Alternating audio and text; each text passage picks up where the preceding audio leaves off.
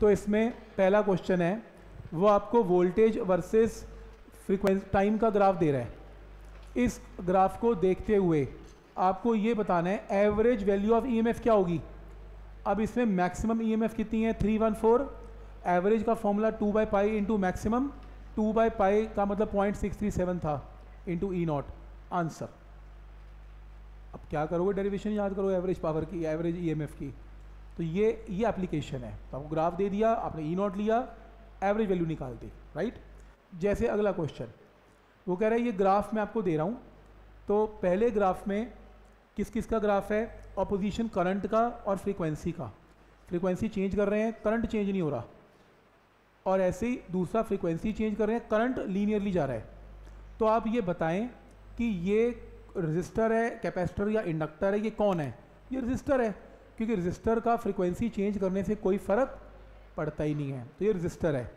और ये इंडक्टर है। इंडक्टर का ग्राफ ऐसा बनता था, याद करो। तो इंडक्टर में एक्स एल क्या होता है? एल ओमेगा तो X L directly proportional to frequency तो ये इंडक्टर है। ये बताना है। एप्लीकेशन बेस्ड है। जैसे नेक्स्ट वो कह रहा है कि ये एक्स एल है और ये एक्स सी है। समझ में आ रहा है मुझे? तो आपको ग्राफ बनाना है। एक्स एल का वर्सेस फ्रीक्वेंसी बन गया। एक्स सी का वर्सेस फ्रीक्वेंसी बन गया। किया हुआ हमने। नेक्स्ट है can the voltage drop across inductor and capacitor in series L C R be greater than the applied voltage वो कह रहे हैं, क्या ऐसा हो सकता है कि एक रजिस्टर है, एक इंडक्टर है और एक कैपेसिटर है? ये एसी सप्लाई है। तो इसके अंदर वी आर जो जो ऐसा हो सकता है कि जैसे फाइनल वोल्टेज है वो वी है रजिस्टर में वी आर है इंडक्टर में वी एल है, ये वी सी है, कि टोटल वोल्टेज अगर वी है तो वी आर या वी एल या वी सी में से वोल्टेज इससे भी बड़ी हो जाए। अब देखो डीसी में तो उतना नहीं था। डीसी में अगर ये 100 वोल्ट है तो ये 100 V1 V2 V3 में डिवाइड हो जाएगा। क्या एसी में ये रूल वैलिड है? कैसा हो सकता है कि इंडक्टर की वोल्टेज तो मान लो टोटल वोल्टेज तो दो वोल्ट है। और इंडक्टर की वोल्टेज एक हज़ार वोल्ट है। ऐसा हो सकता है? हो सकता है। कैसे? क्योंकि जो नेट वोल्टेज है एलसीआर में क्या होती है? ये होती है? ये होती है, मान लो रजिस्टर की वोल्टेज दो वोल्ट है बस, और इंडक्टर एंड कैपेसिटर एक एक हज़ार वोल्ट पे हैं, और रेजोनेंस है, ना भी हो रेजोनेंस लो, कट गया। नेट आंसर फिर से दो आ गया। नेट वोल्टेज फिर दो आ गई, जबकि इंडक्टर और कैपेसिटर में वोल्टेज एक हज़ार एक हज़ार वोल्ट थी। तो हो सकता है तो इंडिविजुअल वोल्टेज ज़्यादा है और टोटल वोल्टेज कम है। सही है? ठीक है यहाँ तक। नेक्स्ट है आर एल सी कनेक्टेड है। तो आपको ये बताना है explain if frequency of E M F be increase अगर मैं इन तीनों में फ्रीक्वेंसी बढ़ाऊँगा तो आपको ये बताना है इसमें करंट कैसे चेंज होगा। Rule number one only resistor में तो फ्रीक्वेंसी का कोई लेना देना है ही नहीं। तो करंट की वैल्यू कोई अफेक्ट नहीं होगी। इंडक्टर में ओमेगा बढ़ाने से फ्रीक्वेंसी बढ़ाने से एक्स एल बढ़ेगा। एक्स एल बढ़ने से करंट कम हो जाएगा। तो current will decrease next capacitor में ओमेगा बढ़ाने से एक्स सी कम होगा तो करंट बढ़ जाएगा। तो लिख लोगे आंसर फ्रीक्वेंसी बढ़ाने से क्या होगा? एक्सएल एक्सी को क्या होगा? फिर करंट के साथ वेरिएशन है। जैसे इंडक्टर के साथ बल्ब कनेक्टेड है तो क्या कह रहा है? How does brightness of the bulb change brightness कैसे चेंज होगी? पहला if number of turns in the inductor is reduced अगर मैं इंडक्टर में नंबर ऑफ़ टर्न्स कम कर दूँ नंबर ऑफ़ टर्न्स कम करने से एक्स एल की वैल्यू कम होती है। क्यों कम होती है? क्योंकि एल कम होता है। क्योंकि self induction number of turns पर डिपेंडेंट है। नंबर ऑफ़ टर्न्स कम है तो एल कम है एल कम है तो एक्स एल कम है। एक्स एल कम है रेजिस्टेंस कम है तो करंट ज़्यादा है तो ब्राइटनेस विल इंक्रीज ठीक है यहाँ तक?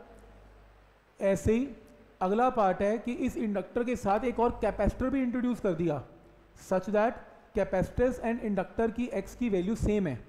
तो बताओ ब्राइटनेस का क्या होगा?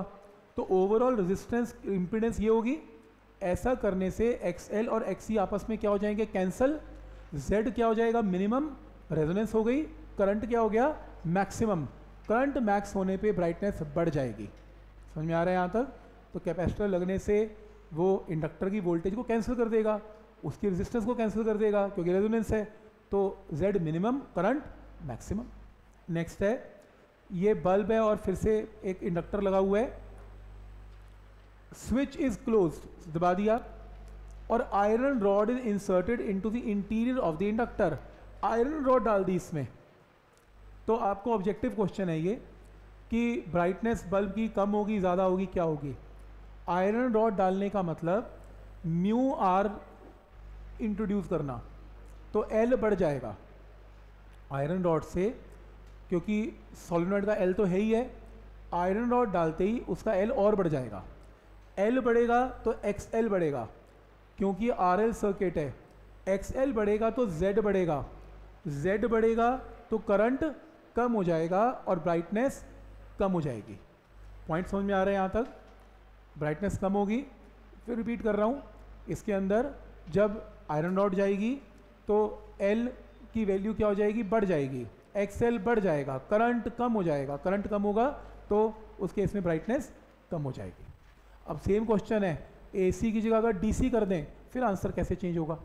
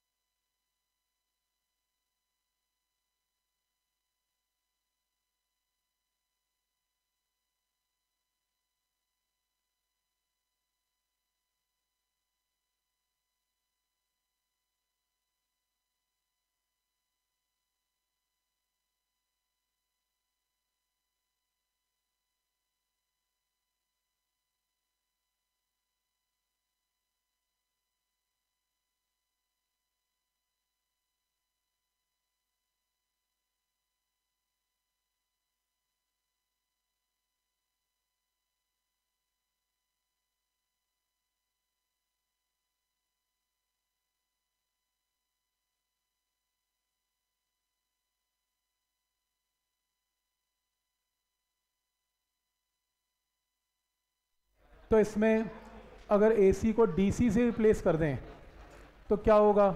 तो इंडक्टर अपना रोल प्ले करना बंद कर देगा। इंडक्टर कहेगा, ठीक है डीसी है, मैं करता ही नहीं। तो एक्सेल ज़ीरो हो जाएगा। रेजिस्टेंस कम हो जाएगी। एक्सेल ज़ीरो तो करंट बढ़ जाएगा। इंक्रीज जैसे इसमें सी और आर सीरीज़ में बल्ब कनेक्टेड है। कैपेसिटर में कह रहा है डायलेक्ट्रिक स्लैब को डाल दिया। कीपिंग आर सेम तो बल्ब का क्या हुआ? डायलेक्ट्रिक स्लैब कैपेसिटेंस को के टाइम कर देगी। कैपेसिटेंस बढ़ जाएगी। कैपेसिटेंस बढ़ने से एक्स सी कम हो जाएगा तो करंट बढ़ जाएगा ब्राइटनेस बढ़ जाएगी। दूसरा केस है, ये पहला केस क्लियर है सी बढ़ने से एक्स सी कम हो जाएगा। दूसरा है, जब आर को बढ़ाते हैं, जब आर बढ़ाएँगे तो ऑब्वियसली करंट क्या हो जाएगा? कम हो जाएगा ब्राइटनेस कम हो जाएगी। नेक्स्ट है, ये ग्राफ इंपॉर्टेंट मार्क कर लेना, मैंने बनाया नहीं। एलसीआर सर्किट में इम्पिडेंस और फ्रीक्वेंसी का ग्राफ है, ये इम्पिडेंस का। और देखो इम्पिडेंस की वैल्यू मिनिमम है आर के इक्वल है। कब? At resonance frequency resonance frequency पे जेड इज़ मिनिमम तो ग्राफ मार्क करो। ग्राफ किसका है? एल इन सीरीज़ में किसका? इम्पिडेंस वर्सेज फ्रीक्वेंसी का। तो इम्पिडेंस वर्सेज फ्रीक्वेंसी का। सीधे ग्राफ मार्क करना है। ठीक है यहाँ तक? जैसे एक, फिर से एक बल्ब है और सोलिनॉइड है, फिर आगे। अगर मैं, और ये डीसी है इंपॉर्टेंट एसी नहीं है डीसी है। मैंने इसको ऑन किया। मैं जैसे से ऑन करूँगा करंट बैटरी धीरे धीरे धीरे बढ़ाएगी और फिर मैक्सिमम कर देगी। जब तक वो बढ़ा रही थी इंडक्टर लड़ाई कर रहा था कि मैं बढ़ने नहीं दूँगा, बढ़ने नहीं दूँगा इंड्यूस डी फिर अल्टीमेटली करंट कांस्टेंट हो गया बैटरी से इंडक्टर का रोल खत्म करंट क्या हो जाएगा? मैक्सिमम तो इसका मतलब शुरू में करंट क्या था? कम था। शुरू में करंट कम है और उसके बाद मैक्सिमम है। तो क्या मैं ये बोल सकता हूँ कि ग्लो इसका बढ़ता जाएगा और फिर क्या हो जाएगा? मैक्सिमम शुरू में कम होगा, फिर बढ़ते बढ़ते बढ़ते क्या हो जाएगा?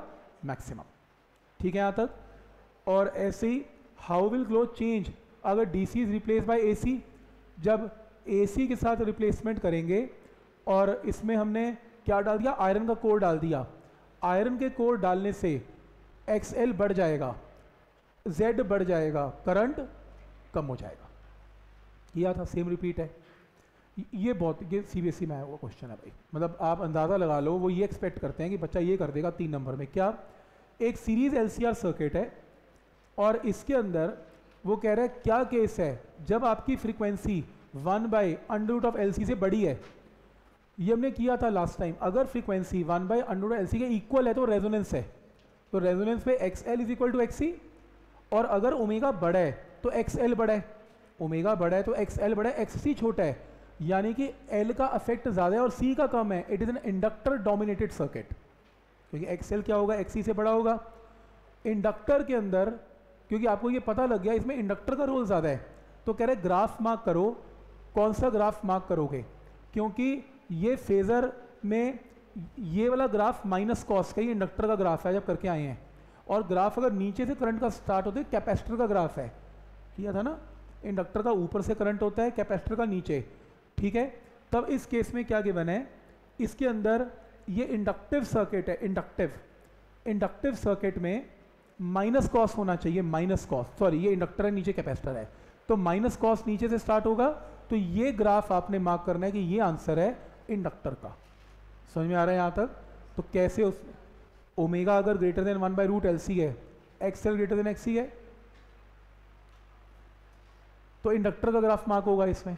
इसमें से इंडक्टर का ग्राफ कैसे देखते हो? ये माइनस कॉस है, ये प्लस कॉस है। जो माइनस कॉस है करंट तो इंडक्टर होता है। आंसर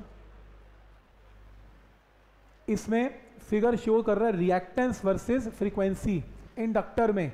इंडक्टर में रिएक्टेंस क्या होता है? एक्सेल आपको इसमें क्या निकालना है? आपको इसमें वैल्यू निकालनी है एल की। तो एक्सेल क्या होता है? एल ओमेगा ओमेगा क्या होता है? Two point two frequency cross multiply करके एल आ गया।